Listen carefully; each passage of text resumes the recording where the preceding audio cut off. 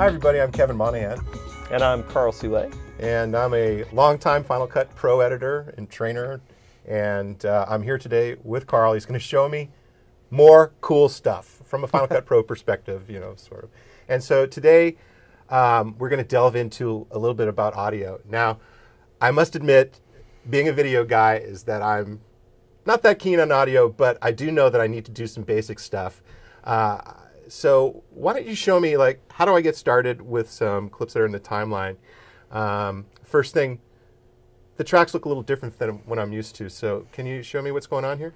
Well, this particular uh, timeline sequence here, we're actually working with uh, a bunch of tracks that uh, this one track, this thing that's called Audio 1 here, is actually called a stereo track. Oh, okay. So this actually contains both the left and the right audio. So as I'm manipulating this, uh, for the most part, when I'm doing trims and things, I just have to worry about one track and I'm Okay. moving both left and right channels. Okay, I, I can I can deal with that. That's cool. Um, it is possible. I know that uh, you know sometimes this can kind of throw people, and there is actually a way um, from a, a starting point of view. If if you're more comfortable having individual tracks for left channel and right channel, there is a preference that you can set inside of Premiere Pro.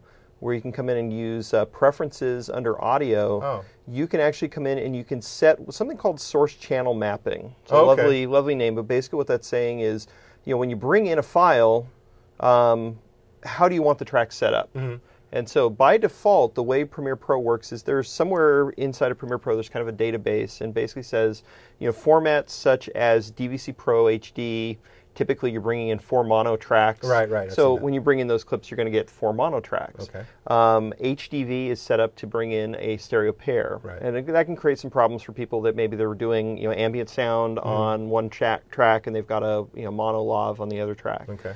So um, you can come in and you can set the source channel mapping instead of looking at the file, just force it to always choose mono, and that way uh, everything will come in. If it's a stereo pair coming in, it'll actually just make two mono tracks for you. Oh, I see. So that's one way to, of kind of forcing it. Now, this is kind of a general thing. Any clips at that point that you bring in are going to, uh, when they're ingested, that's how the audio is going to be handled. Okay, so they're kind of locked into that mode once you've ingested them. Right. Okay. Um, once you put them on the timeline, they're kind of locked in place. In other words, once the clip uh, is on a timeline, you can't make any changes to this. There's no way to unlock.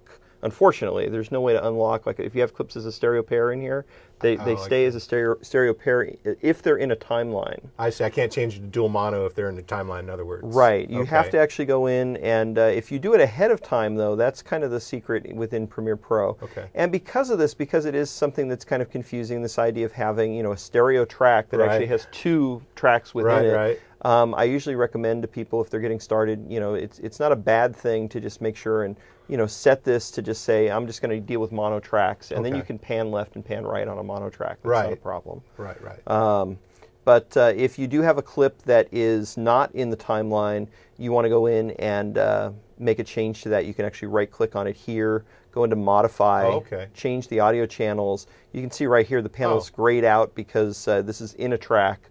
But this is where I could come in on a clip by clip basis, or I could do a multiple selection Mm-hmm. and uh, actually change how these uh, these audio channels are interpreted. So I I, could see. say two mono.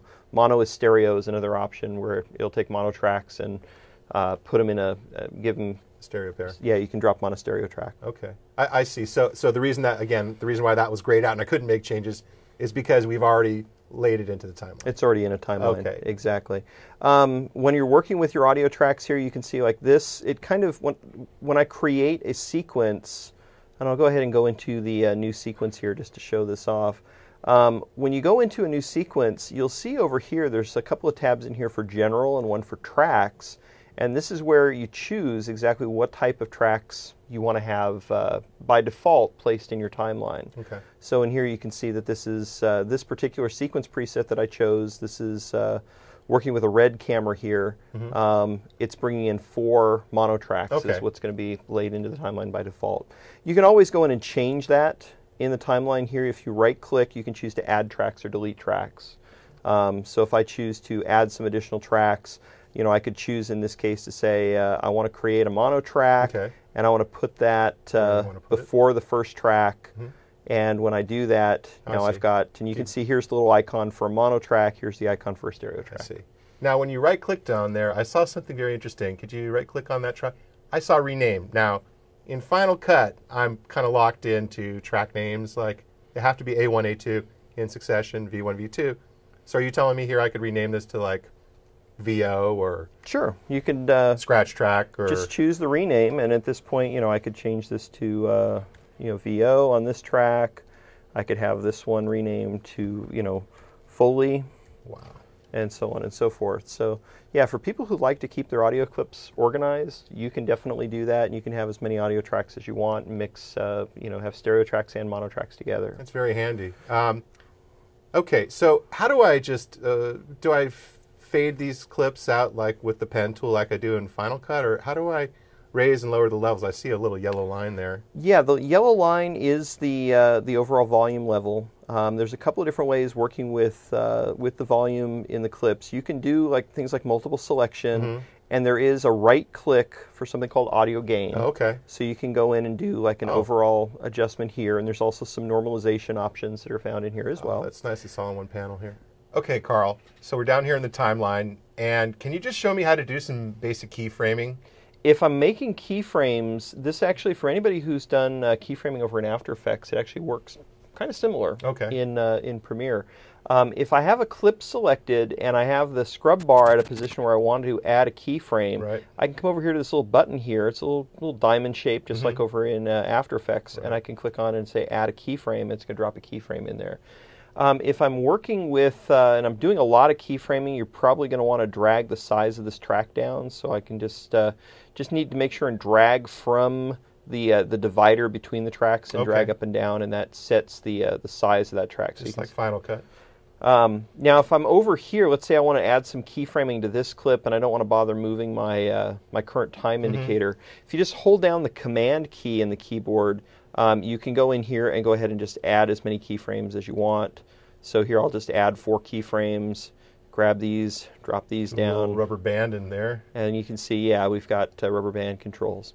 Now, it's also possible if you need a little bit more real estate, if you're doing a lot of this, um, there is actually a panel called Effect Controls, Uh-huh. and you can see here is the uh, the volume controls in here.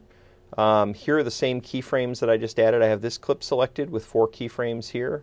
So if I kind of expand this out, um, you'll see that there are my four keyframes. And uh, you can go in here, and there's some more advanced controls that you can do as far as setting. You know, is this a linear ramp between keyframes, or if you want to go in and start, uh, you know, playing around with, uh, you know, how exactly these are going to move from one keyframe to another. You can actually uh, do some more advanced controls in here. Okay, are there waveforms in this panel at all that I could see the keyframes are related to? Uh, no waveform in the effect control. You can see the waveform down here, and you can expand on that. But uh, yeah, what the control that you get in here is more a matter of you know playing with like velocity. You can see here that these are uh, kind of a constant uh, constant speed right now. It just kind of drops in, but you can actually change these to uh, do a more uh, uh, you know more easing in and, and playing with the velocity of these different keyframes from this panel here. Okay. In that case, I see there's a, little, a few more options Mm-hmm. that you can make. But I, I do like the uh, the way you keyframe the timeline using the Command key. I know that in Final Cut it's very similar. You you have the pointer tool, but in that case you hit the Option key, so it's very very similar. And, and up here it looks like you have a little bit more granularity with the audio. Yeah, you can see here I've added kind of an, an ease into this. So now we've got more of a, uh, a nice ramp to this. And you can see here's the control for that where I can actually just play with this and you can see how it's see. uh, affecting the other keyframes. Um, you know, so there's also a little little right click control here to be aware of. If you click on the diamond in this panel, you can see where I can change this from a linear to a Bezier curve. Oh. And there's even some options to say ease in and ease out, and these are taken just from uh, After Effects. So if you're For the audio. for the audio. Amazing. Okay, so that's pretty cool because in Final Cut we don't have any Bezier control at all. So so that's very cool. One of the things, if I'm doing a lot of uh, audio work here, I'm just going to really quickly change my uh, workspace here to an audio workspace. Okay. Um, by doing this, let me go ahead and just reset this to uh, to its original layout here. Okay. So this kind of brings up the nice audio mixer panel here. I can see that I've got different tracks listed here. Uh-huh. These correspond to the tracks down in uh, in my audio in my timeline. okay.